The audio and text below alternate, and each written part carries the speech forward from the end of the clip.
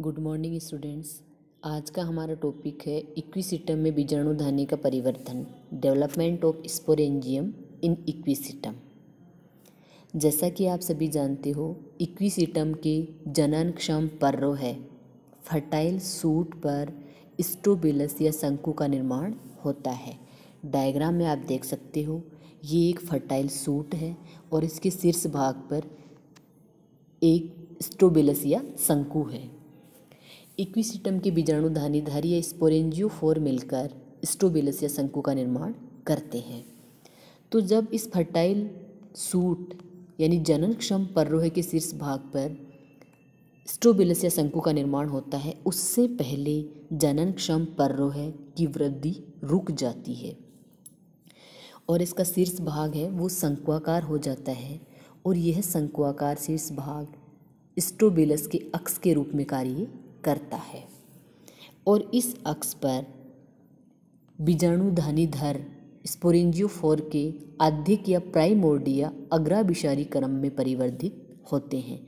यहाँ आप ए वाला डायग्राम देखिए, जिसमें एक शंकु एक्सिस है और इस शंकु एक्सिस के ऊपर ये बीजाणुधानीधर स्पोरेंजियोफोर है, वो लगे रहते हैं। और शंकु एक्सिस या कौन एक्सिस के ऊपर स्पोरेंजियो फोर के लगने का क्रम होता है अग्रा अग्राभिशरीय नीचे से ऊपर की ओर ये लगते हैं। परिपक्व स्पोरेंजियो फोर नीचे की तरफ़ होते हैं और जो अपरिपक्व स्पोरेंजियो फोर है वो ऊपर की तरफ़ बनते हैं। यानी पुराने स्पोरेंजियो फोर नीचे रहते हैं और ऊपर की ओर नए नए स्पोरेंजियो फोर बनते रहते हैं। तो जो प्राइमोडिया बनता है या जो बीजाणुधानी धर के अधिक जो बनते हैं वो पहले अर्धचंद्राकार होते हैं। देखिए आप डायग्राम एच वाला देखिए। एच वाला डायग्राम एक प्राइमोडिया का डायग्राम है, अधिक का डायग्राम है। ये प्राइमोडिया पहले अर्धचंद्राकार होता है, परंतु बाद में इसका आधार भाग संकुचित हो जाने के कारण यह छत्रिकाकार हो जाता है। आप आई और आई और जे वाले डायग्राम में देख सकते हो। ये तीनों डायग्राम बीजाणुधानी धर के ही है। प्रारंभ में बीजाणुधानी धर अर्धचंद्राकार होता है। और धीरे धीरे इसका आधार भाग है, वो संकुचित हो जाने के कारण ये छत्रिकाकार हो जाता है। बीजाणुधानियाँ इन बीजाणुधानी धरों के शिखर तटों पर उपस्थित सतही कोशिकाओं सुपरफिशियल सेल्स से परिवर्धित होती है। देखिए इक्विसिटम में बीजाणुधानियों का परिवर्धन यूस्पोरेंजियट टाइप का होता है। यूज़ आप सब जानते हो कि टेरिडोफाइट्स में दो बीजाणुधानियों का परिवर्तन दो प्रकार का होता है यूस्पोरेंजियट टाइप का और लेप्टोस्पोरेंजियट टाइप का। यूस्पोरेंजियट टाइप के डेवलपमेंट का मतलब होता है, यहाँ प्रत्येक बीजाणुधानी का परिवर्तन एक से अधिक प्रारंभिक कोशिकाओं से होता है। अर्थात एक से अधिक प्रारंभिक कोशिकाएँ मिलकर एक बीजाणुधानी का परिवर्धन करती है। इसलिए इस प्रकार के डेवलपमेंट को यूस्पोरेंजिया टाइप का डेवलपमेंट कहा जाता है। देखिए, अपन एक लाइन डायग्राम के माध्यम से, एक चार्ट के माध्यम से समझेंगे कि किस प्रकार स्पोरेंजियल इनिशियल जो सेल्स होती है, उनसे एक स्पोरेंजिया का डेवलपमेंट होता है। यहाँ आप बी वाले डायग्राम में देखिए कि ये जो स्पोरेंजियो फोर है, उनके शीर्ष स्पोरेंजियो फोर जो बने हुए हैं, उन स्पोरेंजियो फोर के शीर्ष या शिखर जो भाग है, उनकी सतही कोशिकाएँ हैं, एक से अधिक सतही कोशिकाएँ बीजाणुधानी प्रारंभिक कोशिकाओं के रूप में कार्य करती है। बी वाले डायग्राम में देखिए, आपको बीजाणुधानी प्रारंभिक कोशिकाएँ दिखाई गई है यहाँ, ये बीजाणुधानी प्रारंभिक कोशिका और ये भी बीजाणुधानी प्रारंभिक कोशिका। तो इस प्रकार ये एक से अधिक बीजाणुधानी प्रारंभिक कोशिकाएँ मिलकर बीजाणुधानी का निर्माण करती है। सर्वप्रथम क्या होता है? इन बीजाणुधानी प्रारंभिक कोशिकाओं में एक परिणतिक पेरिक्लिनल डिवीज़न होता है, जिसके परिणाम स्वरूप बाहर और अंदर कोशिकाओं की दो लेयर्स बन जाती है। यहाँ देखिए बाहर वाली जो सेल है वो आउटर डॉटर सेल कहलाती है और अंदर वाली जो सेल है वो इनर डॉटर सेल्स कहलाती है। यानी बाहरी पुत्री कोशिकाएँ और भीतरी पुत्री कोशिकाएँ। अब देखो जो बाहर वाली, बाहरी पुत्री कोशिकाएँ जो होती है आउटर डॉटर सेल जो होती है, ये वाली आउटर डोटर सेल है, वो इन आउटर डोटर सेल में कई अपनतिक और परिणतिक विभाजन होते हैं, जिसके परिणाम स्वरूप एक बीजाणुधानी का जैकेट बनता है और साथ ही साथ कुछ मात्रा में बीजाणुजन उत्तक स्पोरोजेनस टिश्यू भी बनता है। एक बार फिर से सुनिए आउटर डोटर सेल से इन आउटर डोटल सेल्स में कई अपनतिक और परिणतिक विभाजन होते हैं, जिसके परिणाम स्वरूप बीजाणुधानी का जैकेट बनता है और कुछ मात्रा में बीजाणुजन उत्तक या स्पोरोजेनस टिश्यू बनता है। और जो इनर डोटर सेल्स होती है, उनसे बीजाणु जन उत्तक का निर्माण होता है। देखिए, एक लाइन डायग्राम या चार्ट के माध्यम से अपन समझेंगे कि क्यूसिटम में बीजाणुधानी का परिवर्तन किस प्रकार से होता है। सर्वप्रथम देखिए बीजाणुधानी प्रारंभिकाएँ मतलब यहाँ पे एक से अधिक सेल्स है जो बीजाणुधानी के निर्माण में भाग लेगी। स्पोरेंजियल इनिशियल सेल्स है। इन स्पोरेंजियल इनिशियल सेल्स में परिणतिक पेरिक्लिनल डिवीज़न होगा। जिसके परिणाम स्वरूप बाहरी पुत्री कोशिकाएँ आउटर डॉटर सेल बनेगी और भीतरी पुत्री कोशिकाएँ इनर डॉटर सेल्स बनेगी।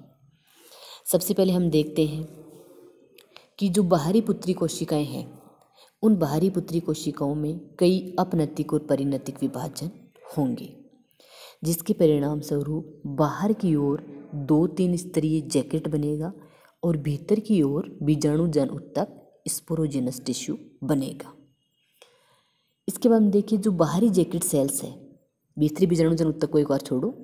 जो बाहरी जैकेट सेल्स है, बाहरी जैकेट सेल्स की जो दो तीन परतें हैं, उन परतों में, उन जैकेट सेल्स में कई अपनतिक और परिणतिक विभाजन होते हैं, जिसके परिणाम स्वरूप दो से सात स्तरों की बनी हुई बीजाणुधानी भित्ति का निर्माण होता है।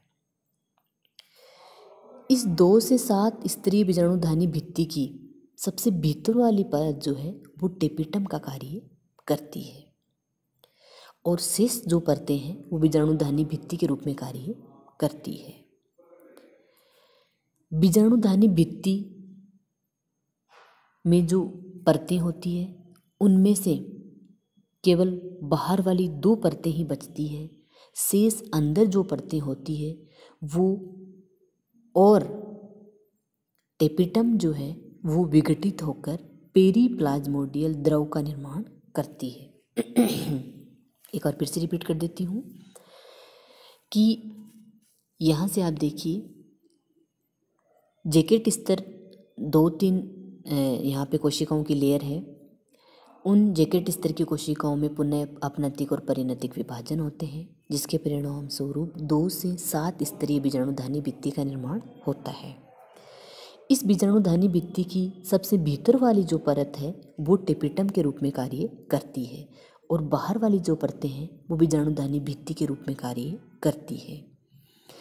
फिर बीजाणुधानी भित्ति की भी केवल दो परतें ही अंत में बचती है। बीजाणुधानी भित्ति की शेष जो अंदर वाली परतें हैं, वो विघटित हो जाती है।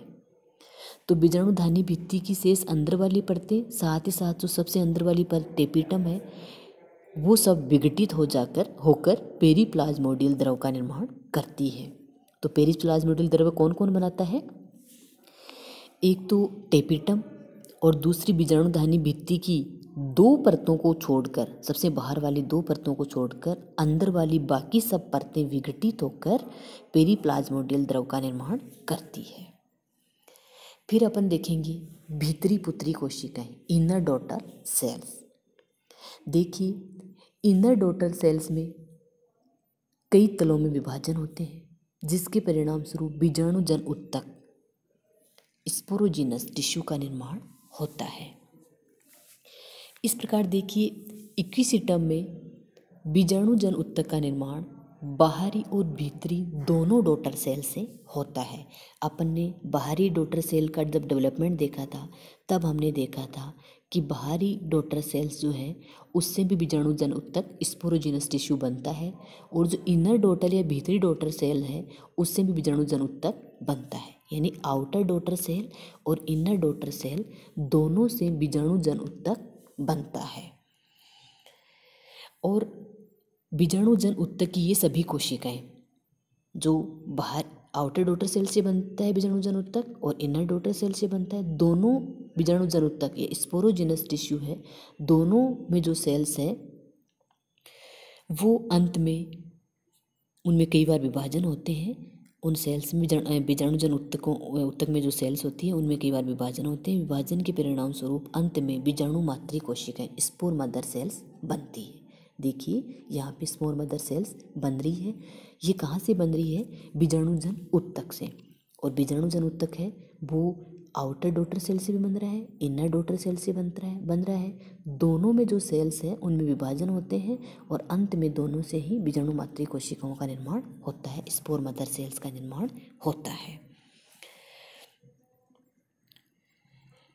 आगे देखिए स्पोर मदर सेल जो होती है